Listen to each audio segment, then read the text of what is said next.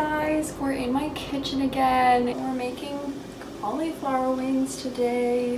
I'm really excited because I've always wanted to make them and try them. I tried them once and that was like last week, so I'm really excited. Um, I'm wearing the exact same thing I wore last time. So I'm gonna change. So my entire family is home for this one because what are you doing? As I said, I hope none of my family walks in on me. My mom walks in on me. But anyways, just measuring the flour. Should probably do this in the bowl. Just have.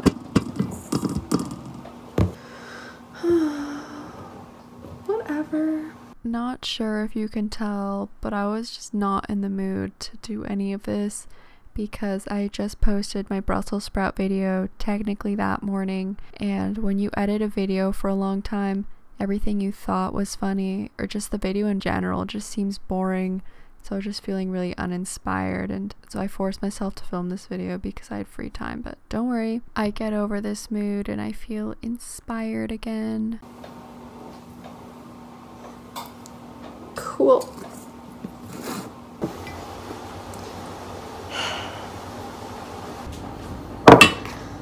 And of course, my washer is being really loud, which is perfect. Okay, New Year's resolution start being more positive.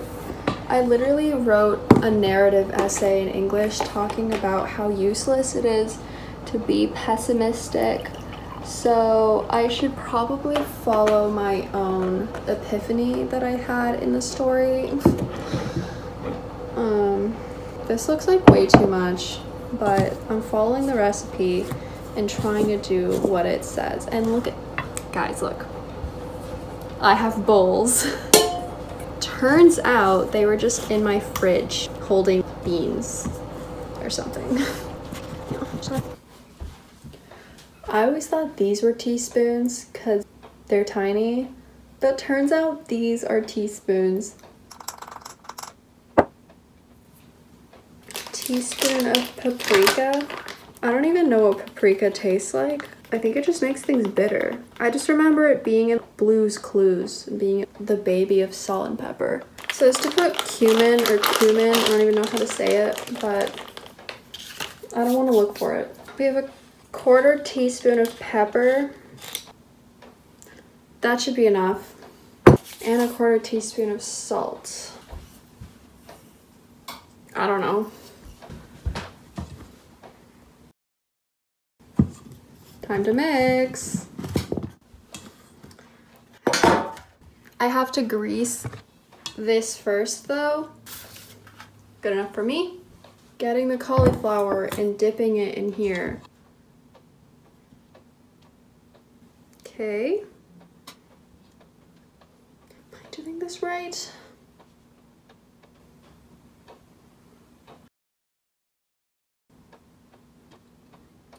It says to get rid of excess. I think that's fine. I hope this is greased enough. These low-key look like drumsticks, like chicken. Oh, is that why they call them cauliflower wings? Thought it was because they were supposed to taste like it because they're seasoned the same way. So let's hope it doesn't burn. I doubled the batch recipe and ended up making all of this because my cauliflower was going bad. You can still eat cauliflower when it's like that, but it just means that it's gonna go bad soon.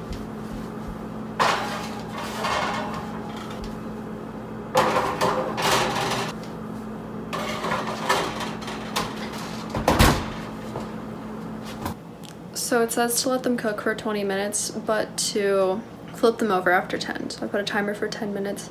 Now I'm going to make the sauce because you have to cook it twice, first in just the batter and then in the other sauce.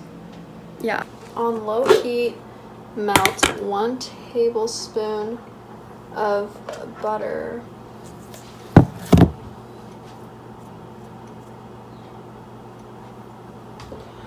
Wheel.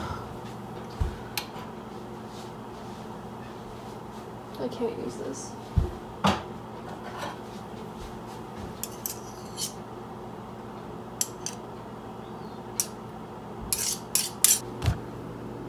Did I really just put this in front of the camera?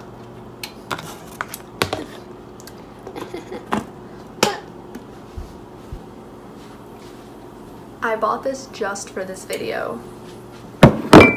I mean, my family has it occasionally, but mostly got it for this video. One cup of this. This better not be really spicy. I'm scared.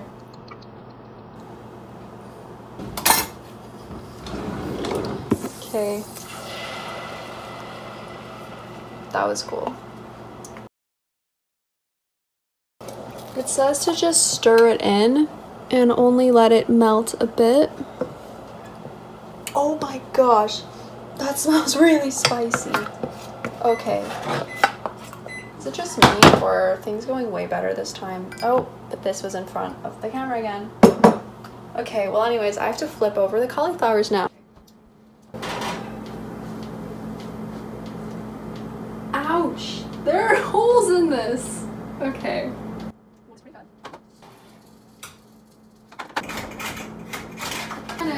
Come.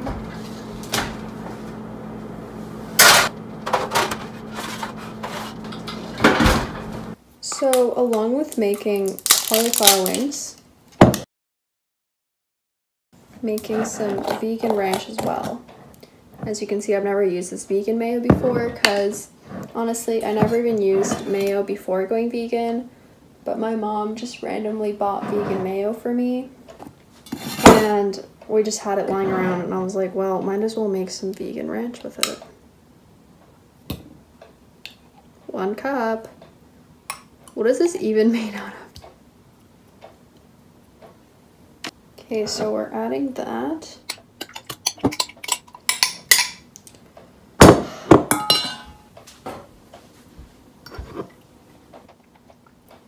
Okay guys, honestly, I don't know why so much of my stuff is like broken. But I mean, we're not wasting, so that's good. We're expanding the life of everything we own. One fourth cup of buttermilk, so one fourth cup of milk. That is amazing, I just have enough. One teaspoon of lemon juice. Think you, no, you let it sit and let it thicken. Then we've got some garlic.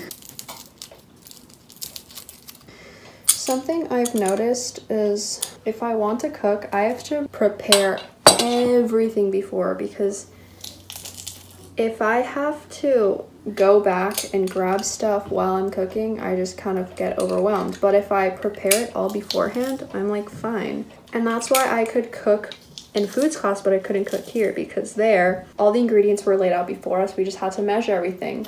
And we always had to keep stuff organized because we were getting marked for it. Whereas here, I'm just like in my house.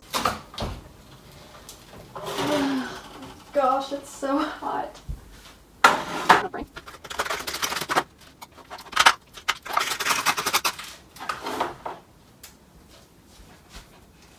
Yummy.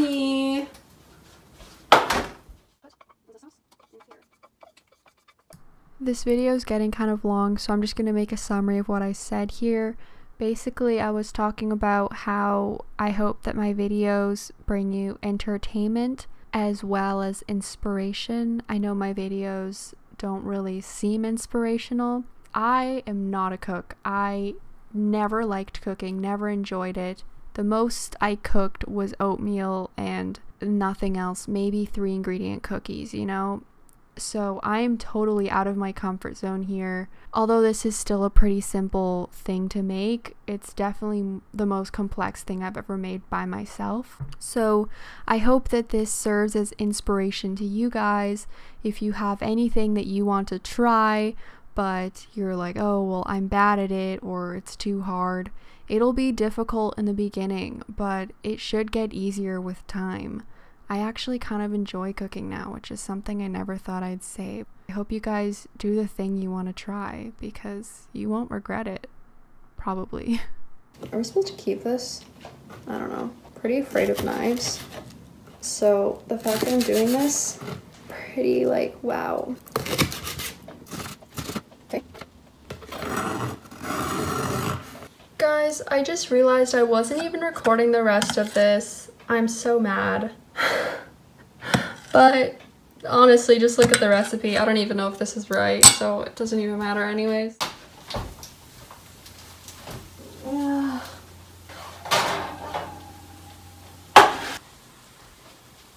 Thumbnail.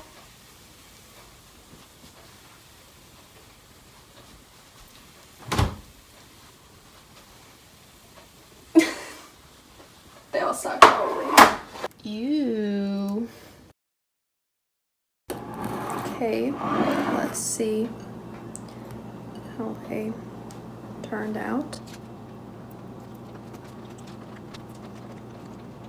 These are amazing. I think everyone should make these, even if they eat meat. They're so good. Thank you for watching. I'll see you in the next one.